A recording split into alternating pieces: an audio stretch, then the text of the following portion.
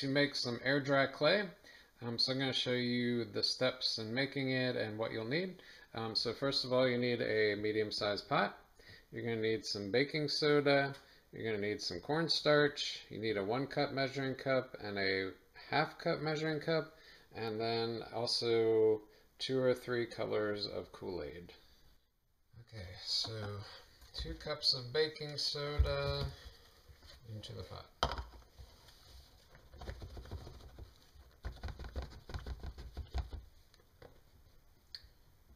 There's one.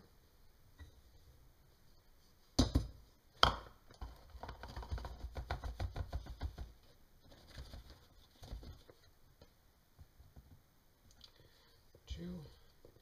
Then we need one cup of cornstarch.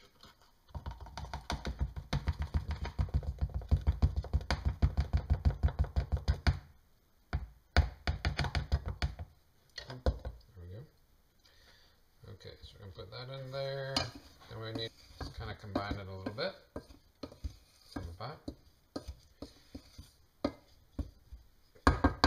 All right, cup and a half of water. I'm gonna pour it in a little bit at a time and mix it up. A little bit more. I can see it's getting very hard already.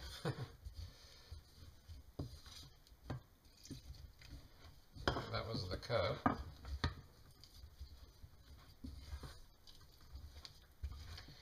It's going to take a lot of elbow grease to get that all mixed together. All right, then we're going to add the cup.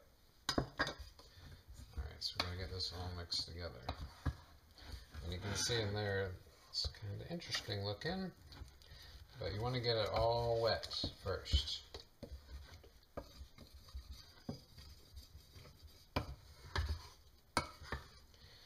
Okay, once you have that, then we're going to go over to the stove. So we'll move over there and get started on cooking it.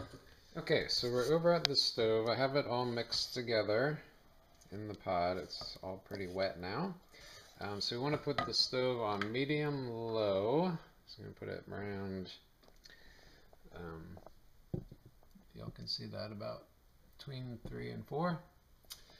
Um, about around on the three. Okay, and then what we're gonna do is we're just gonna mix it in the pot for about five minutes until it starts sticking together in a ball in the middle of the pot.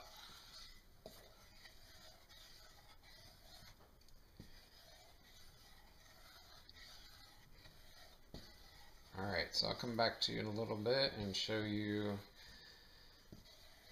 what it looks like in a minute, or two or three or four. Okay, so it's been about 10 minutes and it's just starting to bubble. And I've been kind of stirring it off and on, but you can see it's starting to clump together. Um, so what we want to do is keep stirring it in the pot until it's pretty much all together in a ball, sort of, in the middle. And then um, we'll go from there. So, Alright, so you can see it's getting really sticky, stuck together in here. So I'm going to turn the heat off, turn that off, and then I'm just going to stir it a little bit more, and then I'm going to dump it out onto a piece of parchment paper or onto a cutting board with some cornstarch on it. So just show you that. Got this all laid out here. I'm going to dump it out on here, and so I'll show you what we do with that. Okay, the directions said to knead it, but um, it's kind of on the warm side. But you can kind of mush it around a little bit. Uh, anyway, it's kind of why it's good to use the parchment paper. You can probably use wax paper also, but parchment paper is actually not that expensive. You can get it at Food Lion. I think it was like a dollar for this pack here.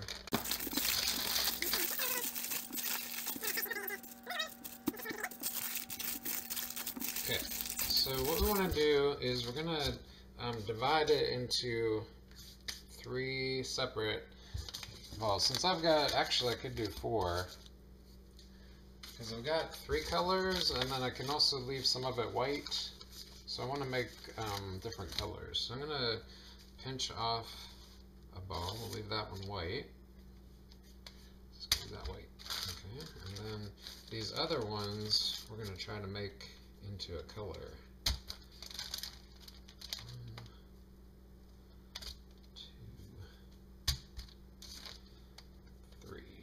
So we got we have four different colors for our beads that we're going to make. All right. So I'm gonna let those cool off just a little bit. They're still pretty warm, and I'll show you. I'll come back in a few minutes when these have cooled okay, off. Okay, so I let it cool off for about five minutes so that I can um, do stuff with it without it um, burning me. But you want to. I notice it's getting very crusty on the outside, so um, you want to work on this pretty quick. So what I want to do is make the colors. So if you don't have Kool-Aid, you can just use food coloring. Um, I just thought it'd be neat if it had a not only a color but also a smell to it. So I'm going to dump this in here. And I'm going to mix it up. I just need it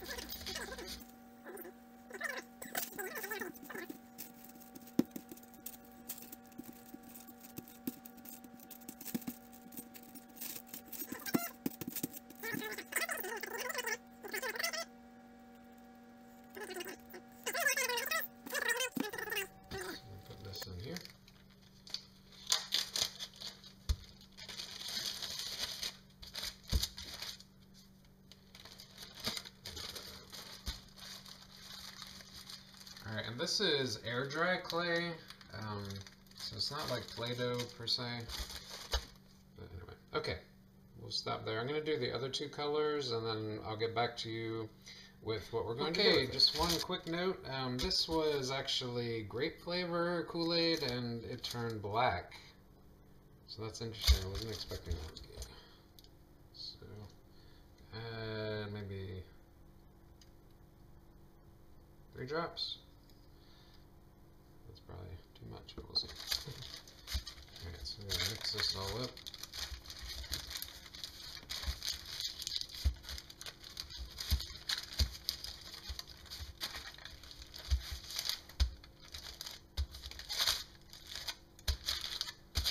Alright, so anyway, we'll get back to you.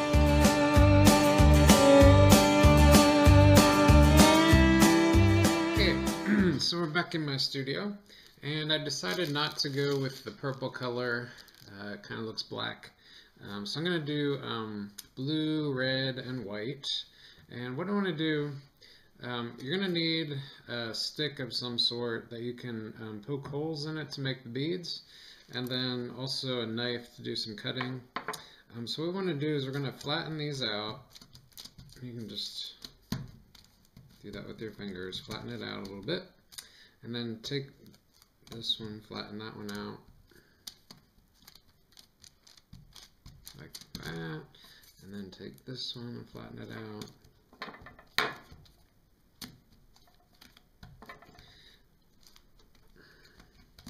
It's a little sticky for some reason. Okay, so what we're going to do is we're going to layer these together, hopefully.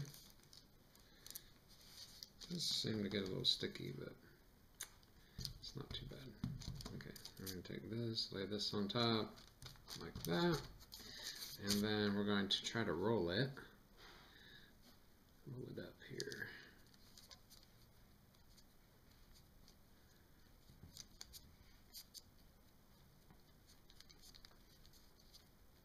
So these beads are going to be kind of big. That's okay. Alright, so you can kind of roll that out into a snake.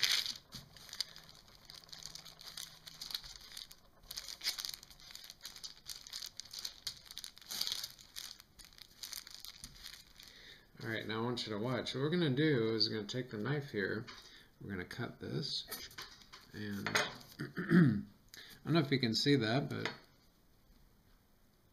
kind of makes a bullseye. So you get like the different colors in it, like that. There's a lot of different ways you could do this. I'm just going to kind of shape it back into the bead shape. So it's kind of got to shape them. And then what you're going to want to do is take the stick and poke a hole through the side of it because we want to be able to see the design there. So we're going to poke through here. Make sure you get it really good there. So that's where you're going to stick the string through the bead. This first one wasn't the best one to practice with, but anyway. So you want to keep them kind of chunky, I think. And just kind of twist it in there.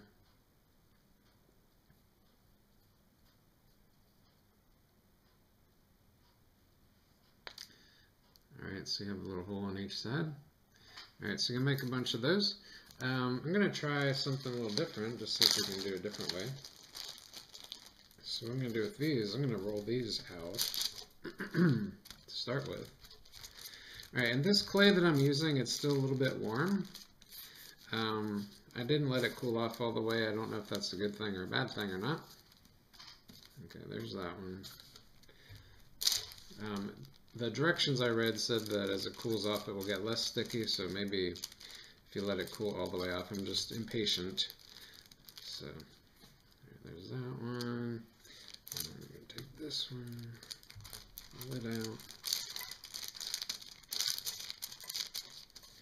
Alright, so I'm going to this time kind of twist these together somehow. You do like a little braid. I'm not very good at braiding. Alright, then I'm going to roll this out together here, this way.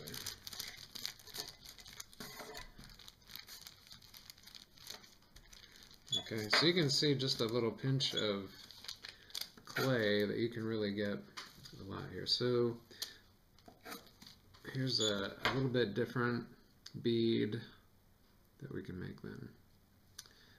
Okay, and then of course you want to take your stick. You can decide if you want to poke through that end or go through this way.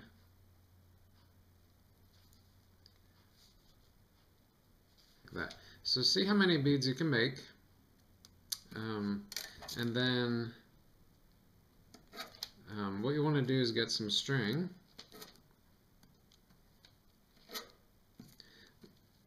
But which, well, okay, I should say first, what you want to do first is let these, once you've made them and you poke the holes in them, you need to let them set. And I'm not sure how long they need to sit. It might be a day um, until they're dried out or, you know, overnight.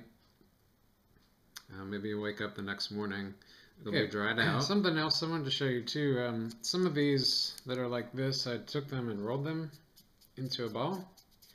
And it kind of makes it look like a neat little marble design. Um, so you can do stuff like that too.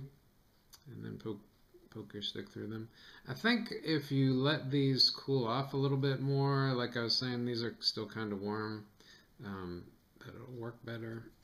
so you're learning from my mistakes along the way. But Okay, um, uh, so it's the next day. Um, the beads are dry for the most part.